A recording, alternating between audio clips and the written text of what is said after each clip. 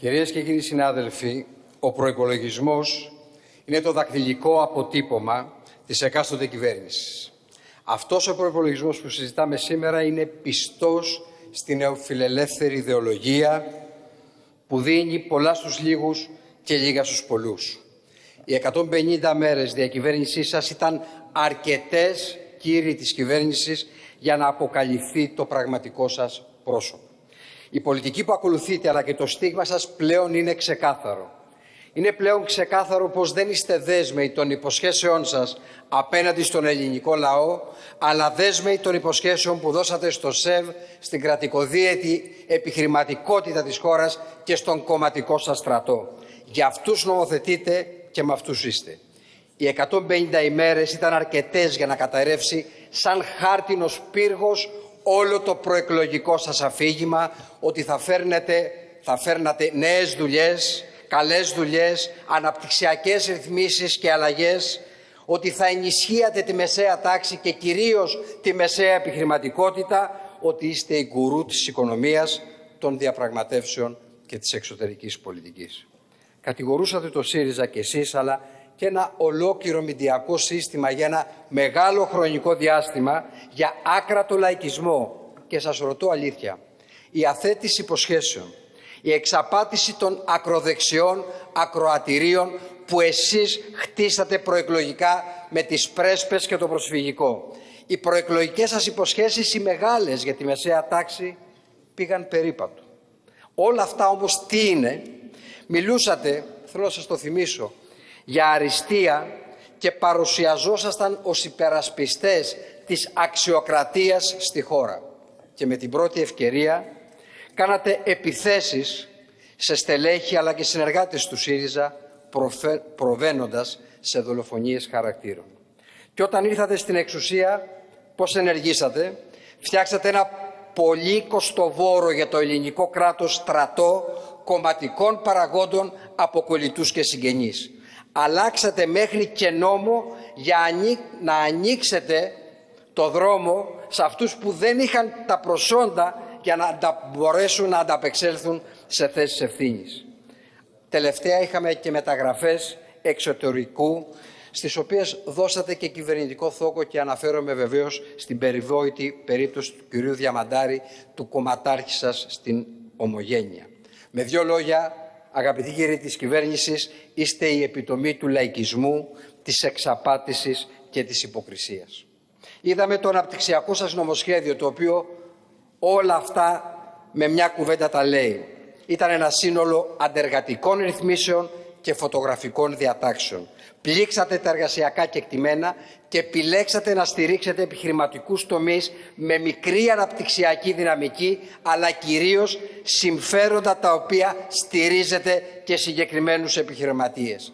Τι κάνατε όμως το χειρότερο; Αδιαφορήσατε για την ραχοκοκαλιά της ελληνικής επιχειρηματικότητας, τις μικρές, πολύ μικρές ή και τις μεσαίες επιχειρήσεις στη χώρα στο φορολογικό νομοσχέδιο που ήταν η συνέχεια του αναπτυξιακού, τι κάνατε; Νομοθετήσατε φοροελαφρύνσεις για τους λίγους και συνέχιση λιτότητας για τους πολλούς. Ένα τρανό παράδειγμα ήταν οι αγρότες που ακούγαν τις μεγάλες κουβέντες προεκλογικά και του κυρίου Μητσοτάκη και πολλών από εσάς και τι είδαν; Η μείωση που θα δουν στην προκαταβολή του φόρου θα είναι βεβαίως το 5%, ενώ αυτή του εισαγωγικού φορολογικού συντελεστή στο 9% στις 10.000 αφορά μόνο το 10% από αυτούς. Και θέλω σε αυτό το σημείο να κάνω ένα σχόλιο για το φλέγον θέμα των ημερών. Έχουμε σε εξέλιξη, κυρίες και κύριοι συνάδελφοι, την πολύπλοκη και έκρηθμη κατάσταση με την Τουρκία.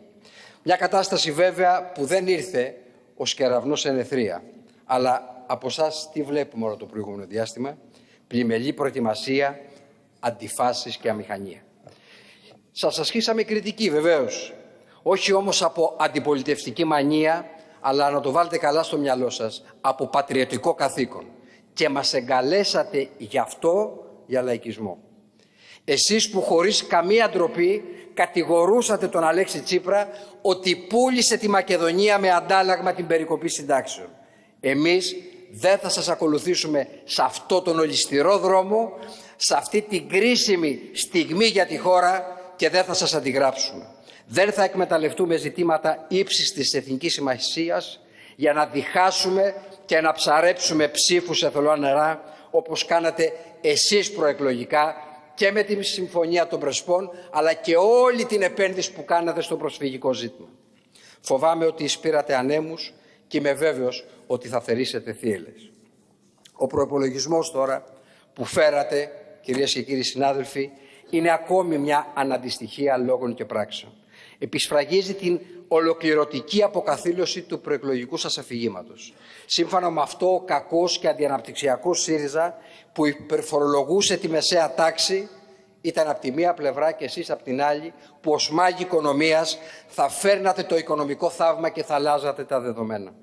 Αυτό το νομοθέτημα όμως υπηρετεί πιστά τις δογματικές αγκυλώσεις μιας νεοφιλελεύθερης και σκληρής πολιτικής.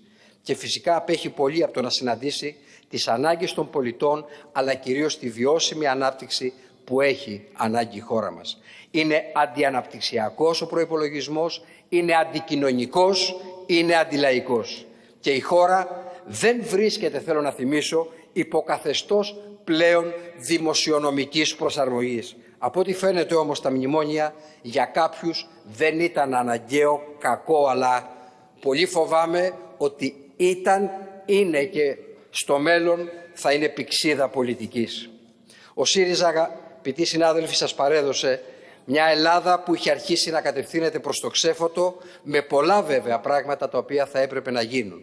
Δεν μπορείτε να αρνηθείτε ότι από το πρώτο εξάμεινο του 2019 είδαμε την ανεργία να πέφτει 10 ποσοστιαίες μονάδες από το 2015. Ότι το 2018 ήταν χρονιά ρεκόρ ξένων άμεσων επενδύσεων στη χώρα.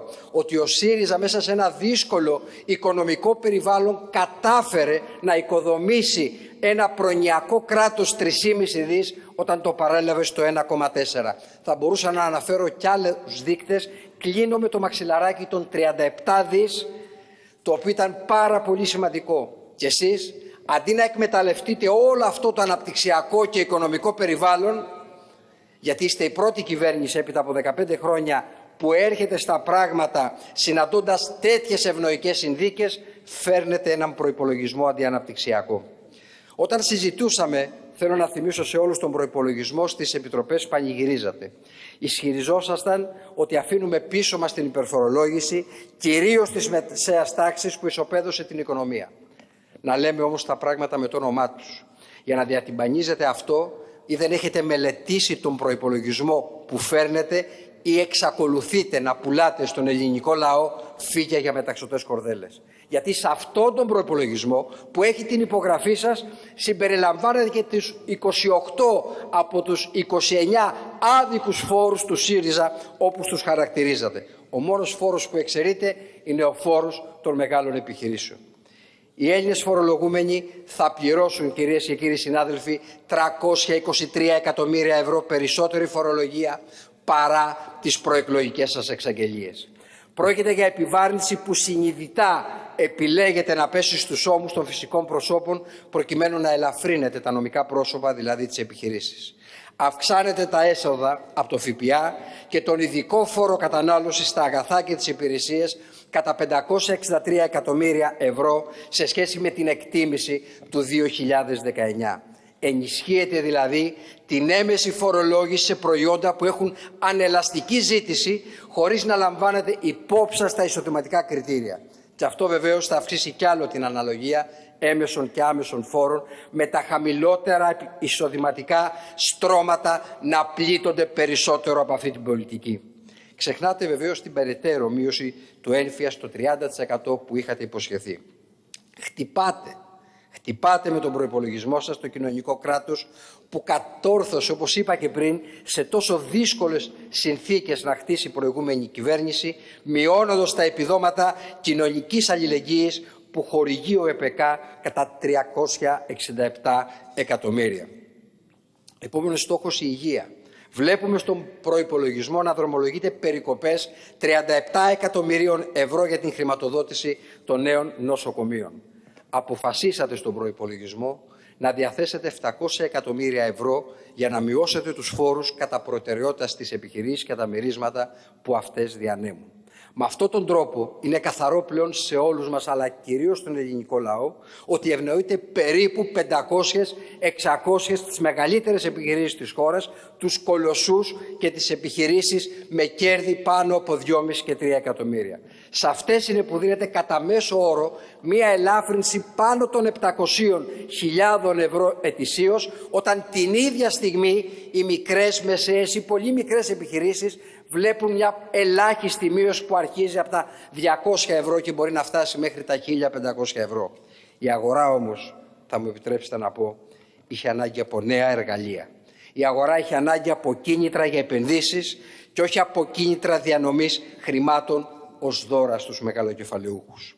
Ήθελε τη μείωση προκαταβολής φόρου στο 50% για επιχειρήσεις και ελεύθερους επαγγελματίες. Την κατάργηση του τέλους επιτιδεύματος. Ήθελε τη μείωση της εισφοράς αλληλεγγύης. Και βεβαίως όλα αυτά τα αφήσατε στην άκρη σε αυτόν τον προϋπολογισμό. Το λιγότερο κράτος, το οποίο ευαγγελιζόσασταν προεκλογικά, γίνεται και περισσότερο και ακριβότερο, καθώς προβλέπεται τη δαπάνη τεράστιων ποσών σχεδόν ένα Υπουργείο, έχοντας προσθέσει την κατηγορία επιτελικός συντονισμός. Κυρίες και κύριοι συνάδελφοι, είναι ξεκάθαρο ότι πρόκειται για έναν φαύλο κύκλο ανισακατονομής βαρών, άδικων φόρων και υπερβολικών δώρων σε κολοσσούς. Με αυτό τον προϋπολογισμό το μόνο που κάνετε είναι να νεκρανασταίνετε ένα τελειωμένο παγκοσμίως μοντέλο για την οικονομία. Αυτό το οποίο λέει ότι μειώνοντας τους φόρους θα αυξήσουμε τα κέρδη, τα κέρδη θα φέρουν επενδύσεις και οι επενδύσεις θέσεις εργασίας. Δεν θα πάω ούτε στην Ινδία, ούτε στη Θάτσερ, ούτε το Ρίγκαν θα φέρω ως παράδειγμα, αλλά το παράδειγμα είναι δικό μας, είναι εδώ. Ήταν το μοντέλο αλογοσκούφι, το οποίο οδήγησε τη χώρα στα βράχια με τα γνωστά σε όλους μας αποτελέσματα. Και πάτε με τα ίδια υλικά να φτιάξετε την ίδια συνταγή και πολύ φοβάμαι ότι θα φέρετε τα ίδια και χειρότερα αποτελέσματα. Τελειώνω σε ένα λεπτό κύριε Πρόεδρε. Ευχαριστώ. Η συνταγή σας, κυρίες και κύριοι συνάδελφοι, δεν θα σταθεροποιήσει την οικονομία. Για μας η σταθεροποίηση της οικονομίας ήταν το όπλο ενάντια στις ανισότητες. Όχι μια ευκαιρία για δώρα στους λίγους εις βάρον των πολλών. Είστε με τις 500 επιχειρήσεις της χώρας απέναντι σε όλη την πραγματική οικονομία που έδωσε μάχη στα χρόνια της κρίσης, κρατήθηκε όρθια και κατάφερε να επιβιώσει. Είστε με τους τραπεζίτες και για αυτούς νομοθετείτε. Είστε με τους υπόδικους επιχειρηματίες, τους οποίους κάνατε το δώρο μέσα από τη διάταξη στην τροποποίηση στον ποινικό κώδικα. Είστε η κυβέρνηση των λίγων και ισχυρών του λαϊκισμού, της υποκρισίας και της εξαπάτησης. Εμείς θα δώσουμε τη μάχη δίπλα στον κόσμο της εργασίας. Θα δώσουμε τη μάχη δίπλα στον αγρότη, τον νέο επιστήμονα, τον άνεργο. Θα δώσουμε τη μάχη με τις υγιείς παραγωγικές δυνάμεις απέναντι σε όλους τους μεταπράτες και το παρασιτικό κεφάλαιο της χώρας. Θα δώσουμε τη μάχη της αλήθειας, θα δώσουμε τη μάχη της πατριωτικής ευθύνης με λογισμό και με όνειρο. Σας ευχαριστώ.